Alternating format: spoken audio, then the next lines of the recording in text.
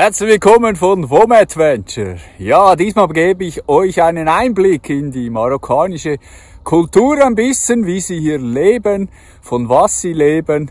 Und ja, wir schauen da ein bisschen tiefer rein, auch äh, ja, in, zu einer Einzelperson gehen wir und ja, ihr seht's, also, ich wünsche euch viel Spaß. Ja, am Schluss gibt's dann noch ein bisschen Sand zu sehen, äh, Sand fahren und mein Vogel darf auch wieder fliegen und der ist natürlich nur äh, auf mich gerichtet. Ein paar schöne Aufnahmen. Viel Spaß beim Schauen und bis bald. Ich bin unterwegs zur Altstadt und bin jetzt hier auf einer Hochebene und guckt euch das an. Hey ein riesen da unten noch ein Reservoir. Und da ist eine der Altstädte. Es hat, glaube ich, noch mehrere hinten noch. So, da gibt es ganz viele weiß gekleidete Frauen. Vielleicht eine spezielle Glaubensrichtung in dieser Ecke. Ach, wunderschön. Hier wurde alles renoviert, wie so eine Musterstadt.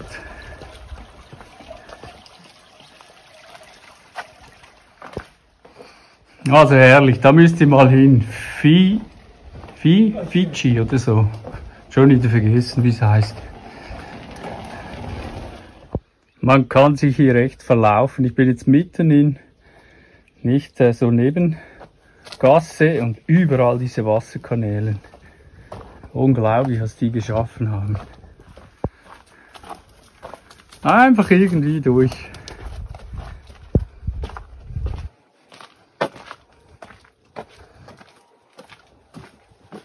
Also das ist wie ein Labyrinth. Mal schauen, ob ich wieder rauskomme. Du, hier geht's nicht weiter. Gut, zum Glück anderer Weg gefunden. Da vorne ist auch ein Auto, also gibt's hier noch einen Ausgang. So, hier ist wohl das Zentrum. Ein Platz mitten in diesem Labyrinth. Hier gibt's einen Haufen Kaffee für die, die Pause brauchen. Wir laufen jetzt einen anderen Weg wieder zurück. Also es ist der Wahnsinn. Diese Berberkultur erstreckt sich von Marokko bis rüber in den Iran, weil ich da eigentlich auf dieser Nahostreise ziemlich vieles Identisches gesehen habe. Diese Lehmhäuser, es ist ja fantastisch. Ja, und auch Google versagt hier komplett. Diese Gasse, diese Gasse zum Beispiel ist nicht äh, in Google drin. Also diese Stadt hat Riesenpotenzial als grüne Stadt zu werden, weil viele sind hier mit dem Fahrrad unterwegs. Die Mofas noch abschaffen, dann ist das die absolut grünste Stadt, wenn euch das gefällt. Hier war ich schon mal. Das ist vermutlich ein altes Bassin. Und das kennt ihr, da war ich schon mal. Jetzt geht's wieder zurück. Wunderbar. Wir fahren auf einen anderen Platz, weil hier ist gerade die Hölle los. Irgend religiöses Fest. Keine Ahnung, was da los ist.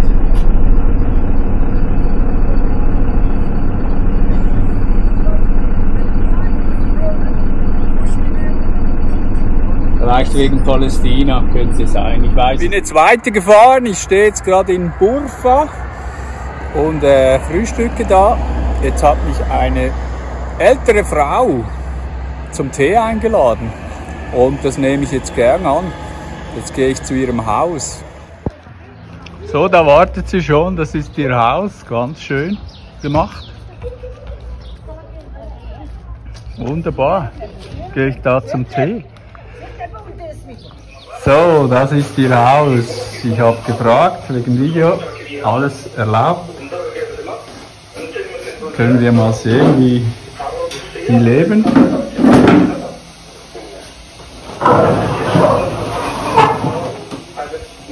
Wunderbar. Also du, Hunde sind durchaus auch mal willkommen. Es ist nicht überall so, dass die Leute Hunde nicht mögen. Es gibt auch andere. Aber interessant, so haben wir damals in den 70er Jahren gelebt, würde ich mal sagen. Ja, wer hätte das gedacht? Ich wollte eigentlich nur kurz Pause machen, bin da ein bisschen rumgelaufen und treffe diese Frau und die war sehr interessiert und hat mich gleich eingeladen. Sie hat mich gefragt, ob ich Zucker will, dann hat sie zwei riesen Klötze reingemacht. Heute da ist ein bisschen viel. Jetzt nimmt sie es wieder raus. Der Zucker ist hier drin. Ganze Eisklötze. Marokkanische Kultur.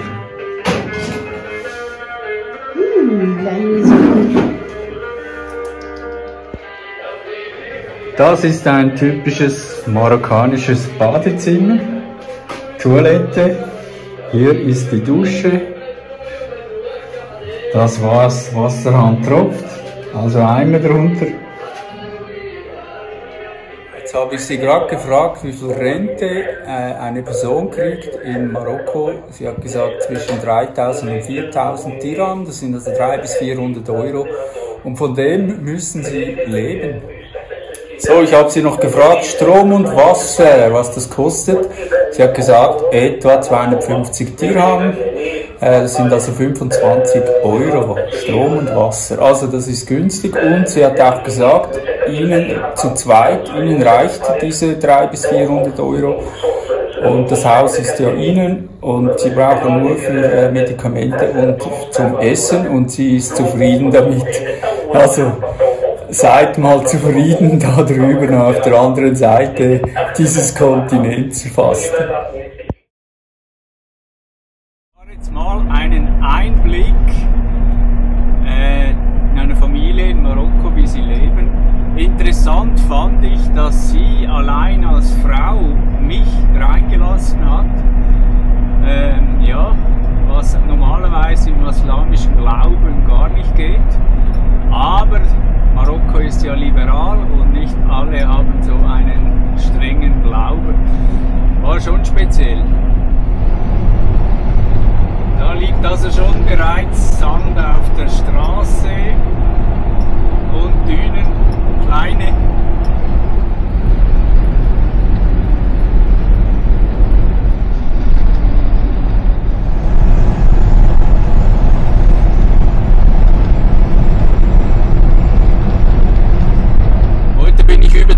Kilometer gefahren. Jetzt bin ich in Boutnip. Boutnip oder irgend sowas. Äh, hier ist gerade ein Markt. Äh, kann man sagen, wie Flohmarkt.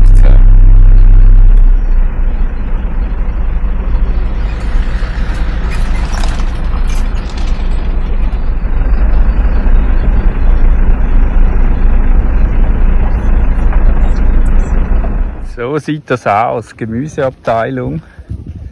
Oh, jetzt muss ich noch Geld holen. Da hat leckere Sachen.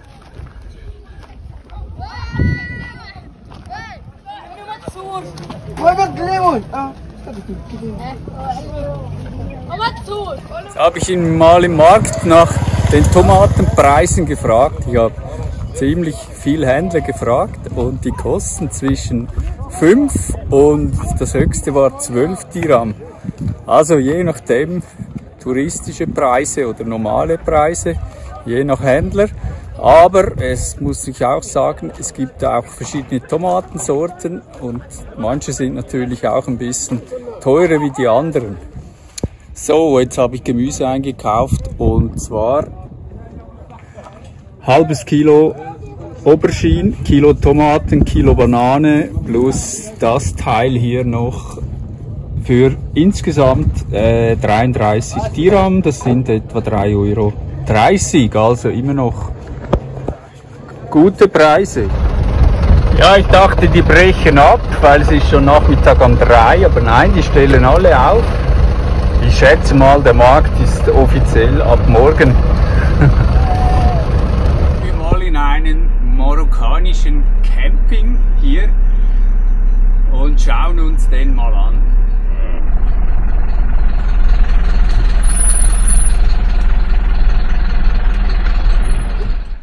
Hallo. Ich verfolge dich schon seit Jahren auf YouTube. Okay. Schön. Freue mich, dich mal persönlich kennenzulernen. Schön, ey. Hallo. Also, Elmar heiße ich. Elmar. Ja, Okay. Und du? ich bin der Toni. Der Toni. Aus, dem Aargau. Aus dem Aargau. Ja. Von dir habe ich gehört, du bist in, Baden bin ich. im. Fisch, im Vieh, wie heisst das? Äh, an der algerischen Grenze bist du. Ja, Sind wir jetzt gerade gesehen. Ja, habe ich, schon, habe ich schon erfahren. Hoi. das- der Therese. Von wem weißt du das? Ja, einfach kennen Haufen Leute. Schauen wir uns mal einen Markt an, mitten im Zentrum, im Dorf. Gibt es auch Gemüse. Und, und Fleisch gibt's. Okay, das ist nicht echt, aber da hinten. Also das Fleisch wird immer aufgehängt, damit man sieht, wer was verkauft. Wir sind alle Fleischhändler.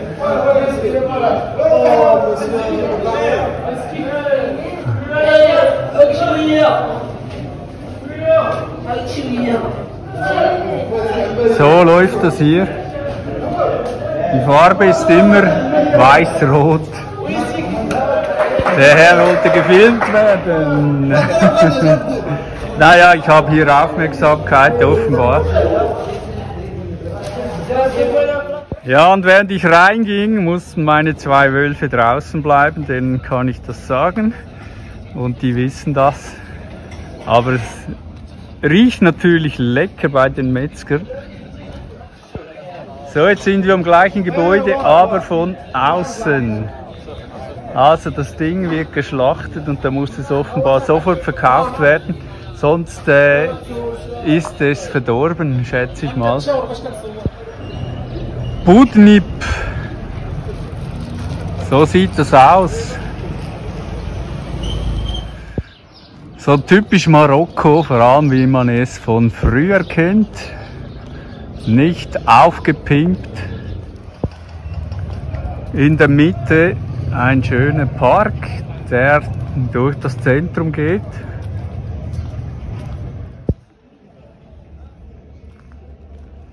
Das Schöne hier in Marokko, es gibt ganz viele kleine Shops, Läden und hier ein Friseur. Hi. Wow, ein Barbershop und sehr elegant gemacht, muss ich sagen. Das fällt gerade auf. Das war natürlich ein Barbershop, hab's falsch gesagt, wie meistens. Und eben überall sind Läden, klein, eine rechts, der gehört zusammen, aber es sind immer kleine und so leben die. Manche hier, ja. So, jetzt gehen wir mal in einen Imbiss, einen typischen marokkanischen Imbiss. Und da sind sie am Kochen. Swiss. Swiss.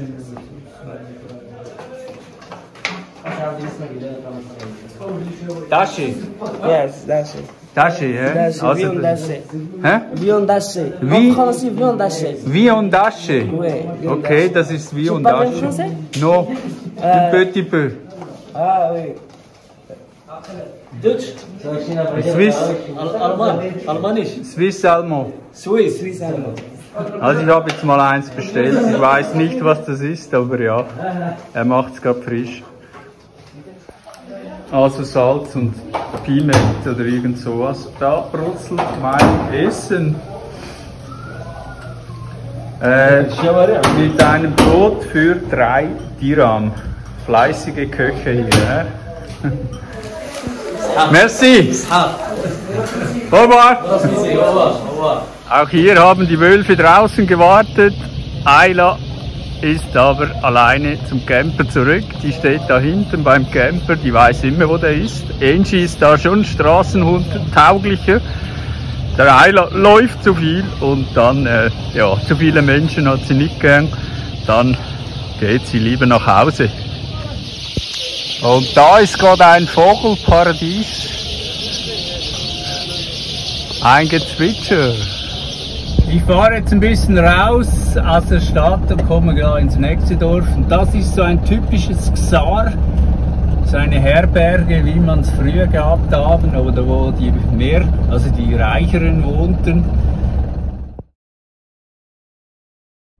Ich bin weiter unterwegs nach Erfurt und äh, überall über Kilometer weit haben sie jetzt Plantagen angepflanzt, junge, also wirklich ganz viele. Machen vermutlich denselben Fehler wie die Saudis, die pumpen das ganze Grundwasser eigentlich weg. Mal schauen, wie lange es hält, 10, 20 Jahre und dann wird das wieder vorbei sein, weil es einfach zu viel ist.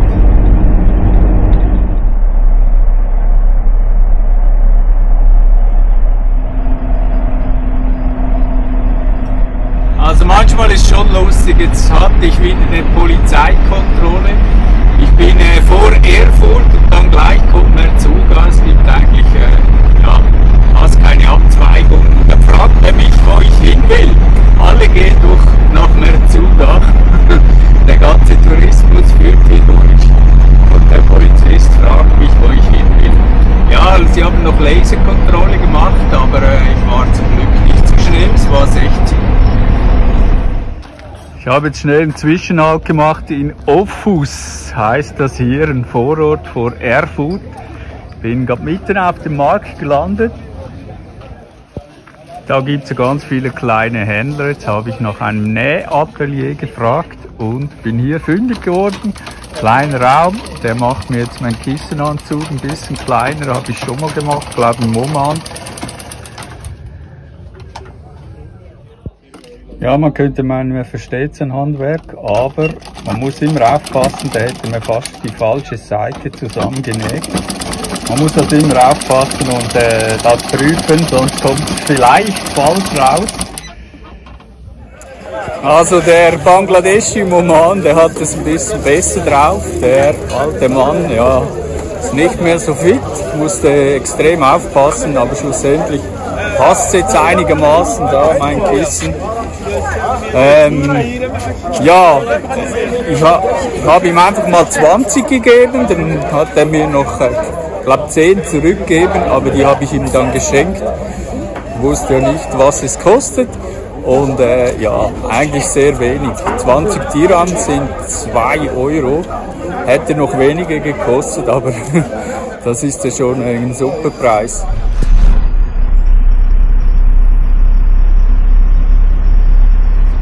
Tanken, da ist gerade eine Tankstelle.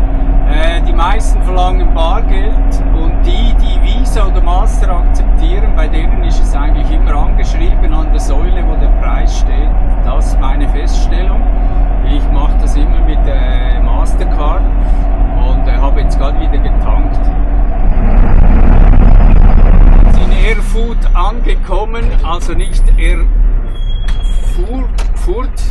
Erfurt, glaube das ist in Deutschland, sondern Erfurt.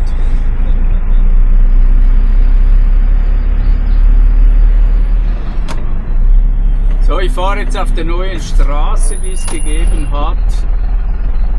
Also nicht direkt nach Merzuga, sondern hintenrum bis zur großen Sanddüne. Und, und dann fahre ich äh, ja, bei der Sanddüne hintenrum Piste, Piste und Sand. Schöne Sandverwehungen hier. Hier muss es wohl Fossilien-Fundstätte äh, geben. Überall sind so Fossilien-Cap. Da sieht man jetzt den Erk Chevy. Da rechts.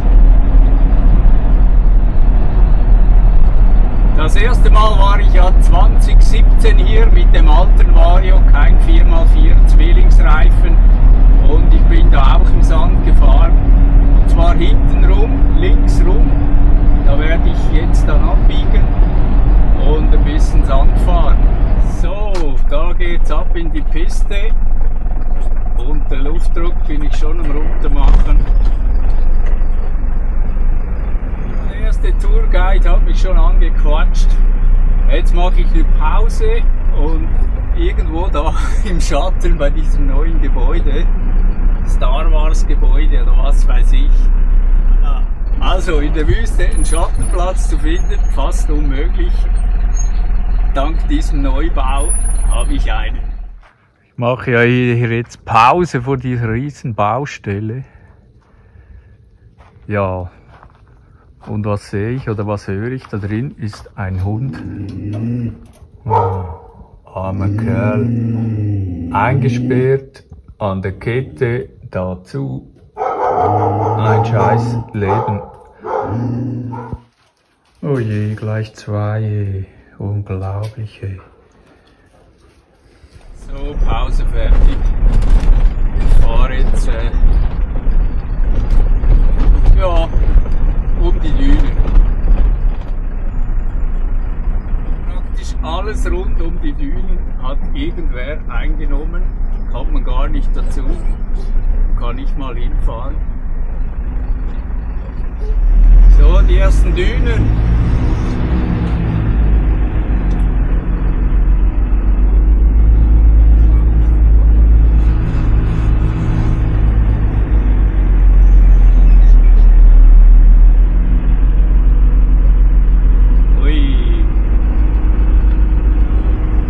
Ich habe noch Reservereifendruck.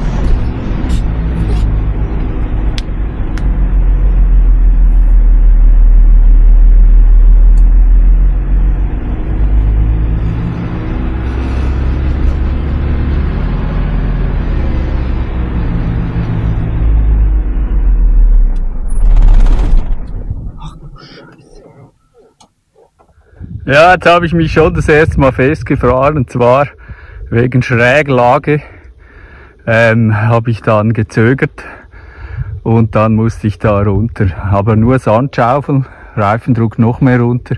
Jetzt bin ich wieder frei. Scheiße, fängt schon gut an. So, ich bin jetzt zu Fuß gucken gegangen. Das ist ein Dünenmeer. Es hat zwar Geländewagenspuren, aber ob das für meinen passen, wenn wenn es nämlich schräg ist, dann äh, hat man die Hosen geschissen voll, weil er könnte ja kippen. Ich fahre jetzt wieder zurück, ist sicher. Kommt gerade eine Kamelherde vorbei. Oh, heißer Sand, ich bin barfuß. Also wieder zurück. Ich meine, das Zeug geht alles, aber wenn es schräg ist, das ist einfach scheiße. Da bin ich dann zu schwer.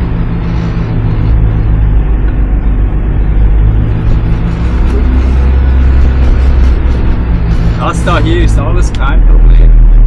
So, geschafft. Ein kleines Dorf. Ich muss auch sagen, der Sand ist natürlich jetzt richtig heiß, falsche Zeit, um eigentlich da durchfahren. Äh, aber ich bin ja erst angekommen. Diese Hauptpiste, ich hoffe, es wird nicht zu deftig. Ein LKW ist da auch durch.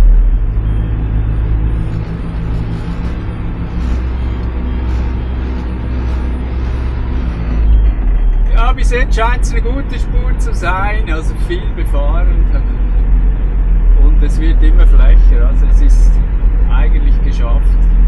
Ist da ein Track durch, heute, so wie das aussieht, Spuren nach, genau in die entgegengesetzte Richtung, den werde ich also nicht sehen. Der Truck ist da wohl rein, keine Ahnung, hat er da gecampt. Ähm, Sackgasse, jetzt muss ich die andere Spur nehmen. Tut aus, die Spuren führen alle zu irgendeinem Camp, es werden immer weniger. Ich hoffe, ich komme da irgendwo durch, aber ist alles eingehakt, eingezeugt. So, da ist wieder eine Hauptpiste, jetzt, jetzt sieht es glaube gut aus. Jetzt komme ich da wieder raus. Gut, ich bin wieder raus, die erste Sanderfahrung hinter mir, jetzt Reifendruck wieder hoch. Bin ich wieder in Weichsand, ich musste kurz anhalten, Reifendruck runter, weil es kam so eine Bo riesig große Bodenwelle, da konnte ich gar nicht schnell fahren. Äh, also das ist schon edel, Reifendruck während dem Fahren oder schnell anhalten.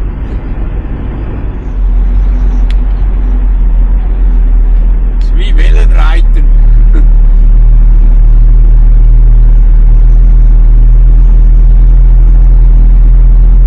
Los geht das so weiter, aber gut befahrbar. Das habe ich sogar mit dem alten Vario gemacht, ohne 4x4 Zwillingsreifen, ging auch.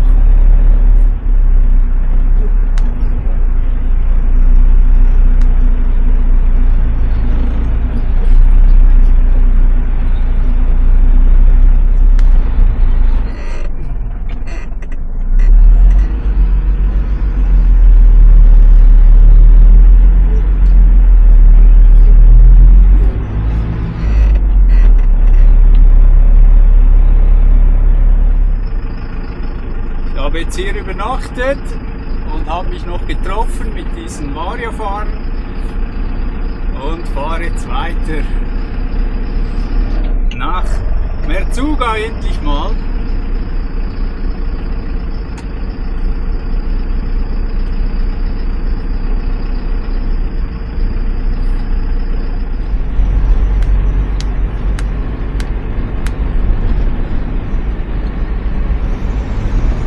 Also das hier ist nicht richtig Sandfahren. hä?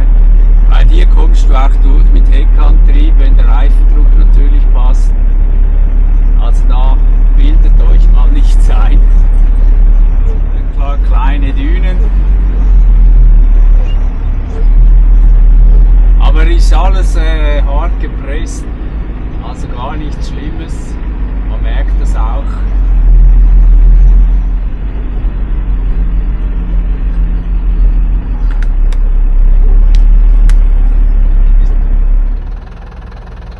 Da stehen ganz viele Camper nahe an der Düne, aber nicht Offroad natürlich. Aber auch die können hierher kommen. Äh, Camping hat wie Sand am Meer. Das hier ist Merzuga, das Zentrum eigentlich. Und ich bin gerade dabei beim Metzger für die Hunde Fleisch kaufen, was ich dann aufkoche und mit Reis vermische. Aber ich kaufe nur Puten oder Hühner. Und sie haben jetzt Knochen gekriegt.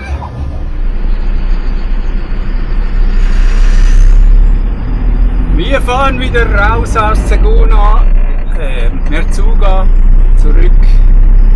Aber schaut euch das an. Kein Wunder bauen sie da überall Camps hin und ja, Logien, Unterkünfte.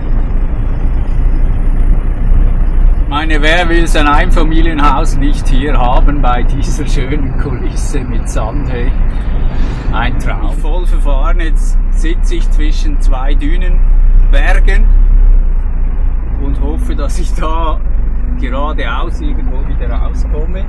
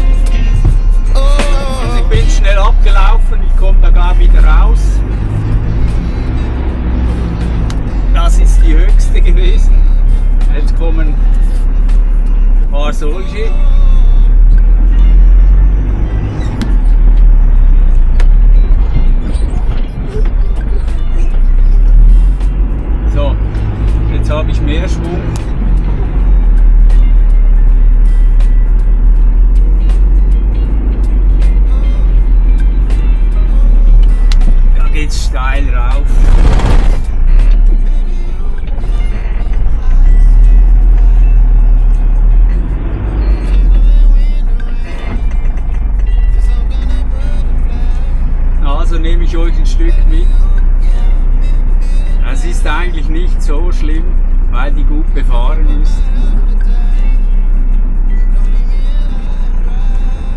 Ich muss einfach immer wegen Schräglage aufpassen. Aber auch da braucht es einiges.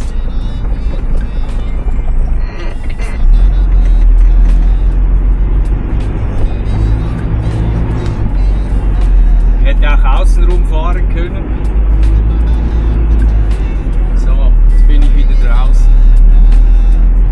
Also da können auch äh, Heckanggetriebene herkommen, die müssen sich einfach ein bisschen weghalten von den Dünen, weil da ist richtig alles Piste, kein Problem. So wie hier eigentlich. Dann habe ich eine Piste ganz innen genommen am Rand. Man muss einfach aufpassen, dass, sie nicht, äh, dass man nicht zum Camp reinfährt, weil sonst ist es Sackgasse. Es gibt ganz viele Pisten, aber manche führen eben zum Camp. Die sind auch viel befahrbar. Die zwei haben eine scheiß Freude in den Dünen. Das macht Spaß. Seit drei Nächten stehe ich schon hier, da nahe an der Düne. Bin aber nicht ganz alleine. Der Carlson, ein bisschen abgeschlagen, weiter hinten. Und gestern war der nochmal ein Variefahrer da. Also wir, wir waren drei Variefahrer, hatten grilliert, gegrillt oder wie ihr sagt, ja. Und äh, jetzt wird einfach ein bisschen ausgeruhen. Also hier habe ich mich sicher fünf Nächte entspannt. Ich äh, habe einfach mal ein bisschen Pause gemacht vom Reisen, war aber zweimal im Merzuga und äh, konnte es dann doch nicht ganz lassen. Hatte auch immer wieder Besuch, Variofahrer oder eben auch Ulrike und Ingo mit ihrem Sprinter kamen dann noch eine Nacht und äh, ja, ich bin dann alleine weiter und äh, ja, also ich hoffe es hat euch gefallen und Daumen hoch. Bis zum nächsten Mal.